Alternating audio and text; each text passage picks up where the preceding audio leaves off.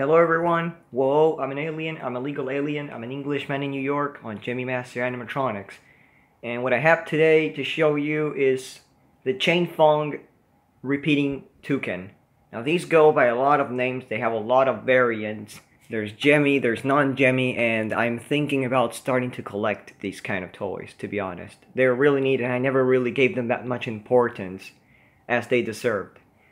I do have another one, which is a China fake, uh, China fake Pete the Repeat parrot, which is in my grandma's house. I'm gonna have to hang that one up, there, and I might be receiving another one from a friend. So, anyways, um, this was made in Chain Fong in 2002, but it's been all the way since the 90s. But I mean, this particular one, it said 2002 on the board. So, I received a little, little info about it from a friend of mine who said they were still being sold at Cracker, at Cracker Barrel. And I'm like, holy crap, so these things are still being made. And uh, I would definitely like to get my hands on one of those just to see if it's old stock or if it is a new one and the components inside are shitty. Because this one, it's nowhere near that. It's actually really well made. Um, it's really good plastic and even the, the, the bottom thing it's just, it feels another thing. And of course, here's the brand of it. Chain Fong Toys. I do have a few other products by Chain Fong Toys.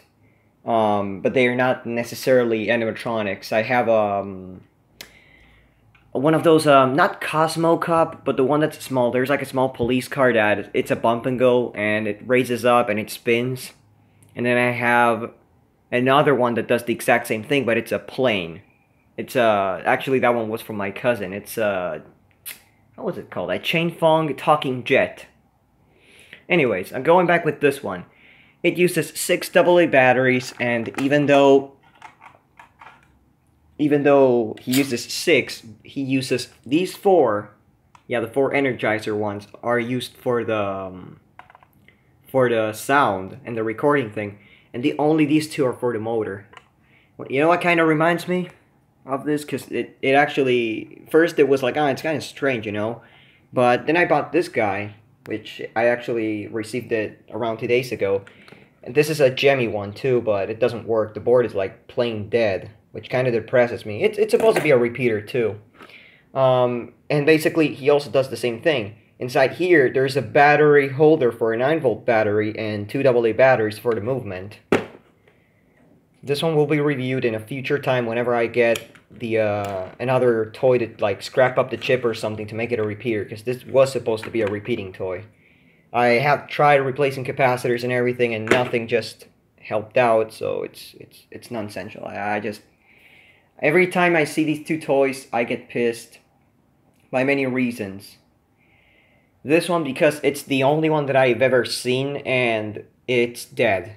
And this one because I was stupid enough to take the little cane apart on Kevin at Kevin's house, and I think I lost either I lost it or it's at Kevin's, and that still pisses me off a lot. Cause I I should have at least kept it somewhere that I knew about, but I I, I never did. Anyways, going back with the toucan. Has an on-up switch on the back, right there.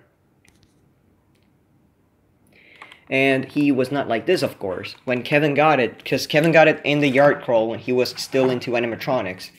Later on, he kind of gave up on that and he ended up either giving away or selling some of his animatronics that he really didn't have that much appealing to.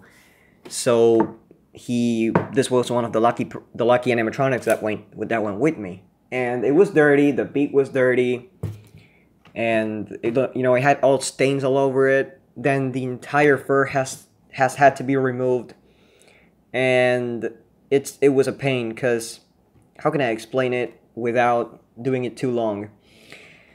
The skin is basically you see this like this on the side and it's not like this. The fur is actually these are two separate pieces of fur that are glued. If anybody remembers the video of how to remove hot glue, this is the one that I was fixing up at the time. Then of course you gotta glue the, you gotta glue the tail on because the tail is also glued on and it was a pain. It was a pain in the ass uh, because the thing is, I I just made sure that I wouldn't have to take this guy apart anymore. That's one thing for sure, because it had this one.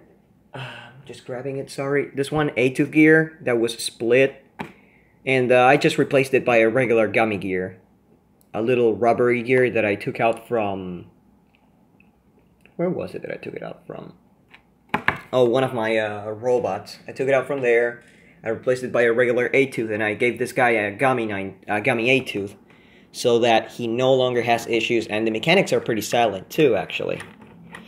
Anyways, this guy repeats up to like I would say either ten or twelve seconds of what you're saying, and um, and it's really I like I like the quality this has. It's not the best quality, but it's definitely better than the other one that I have. Cause again, I'm gonna I'm gonna be bringing back a, a few of the uh, voice repeating toys and probably fixing them up because I do have a few that do need repair. But this was, as uh, then again, this was like a complete one when I got it, and I got it from Kevin. So, you know, it's it's a whole lot better. I was like, yeah, I'm probably gonna start collecting these again. These are really nice. Plus, this guy will have a lot of friends to go with. Eh, eh, eh. Duh. Anyway, what it does, of course, you guys probably know, it's it flaps its wings, it opens its beak, and repeats up to like 10 or 12 seconds of whatever uh, you want to say to it. Another thing is that these are actually bendable. Yeah, you can bend these and take them out of here to, uh, you know, store it in the box. And another thing that I forgot saying is that there's around two or three more versions of this. There's a green one, there's this one, and there's one that's red with green. So I think all of them were red with green, but then there was another one that I forgot about. Um, because there's one, I know there's one that has green. I know there's this one, I know there's one that has green instead of black. And I forgot which one was the other variant. I think, no, I think this, there's one with green, one with black, which is this one. And, uh, I, I think there was a completely green one too, sorry. There was a green one. Anyway, I guess we'll go to the demonstration part, shall we? Hey, how's it going? Hey, how's it going? Hey, how's it going? Yeah, he repeats everything you say. He repeats everything you say. He repeats everything you say. Are you talking to me? Talking to me? Talking to me?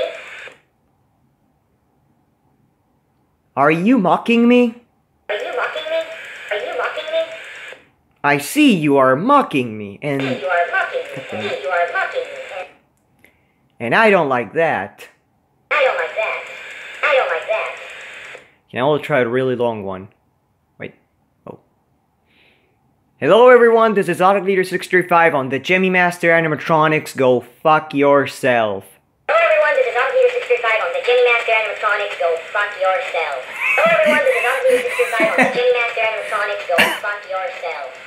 See, we think we think each we uh we Oh. We read each other's minds. When I have something kinky to say, he works fine. anyway, um, I guess that's the entire review. There's nothing else I gotta say. It's really well made from the inside, and um, it's it's a really nice toy that I received from Kevin. So thanks, Kevin, for that. Um, and yeah, I guess I guess that's practically it. I don't have anything else to say. He's got a big ass speaker in the chest, a pretty big board actually on I think around the back area. The gearbox is pretty tiny. Like you would think, that's a gearbox that takes over at least half the body. No, it's it's actually a really tiny gearbox that is just placed in the middle, and it goes around. What's it to half the white part on the body, like half, not not even half the body, and it actually attaches to the wings because it has like two spinning knobs that attach to each wing, and of course, yeah, you have to you have to synchronize those to be both up and both down. I actually have never seen one of these with uh with one of those just unsynchronized. And the funny thing is that it's uh it's a round shaft. But anyways, it, it would be actually cool to see something like that just to see what the hell could happen. Why you don't got to do it like that. So anyways, I guess we're gonna say goodbye with Mr. Parrot. No, Mr. Toucan saying something for us. Like the video, subscribe, and don't forget to comment, because if you don't comment, I'm gonna get you.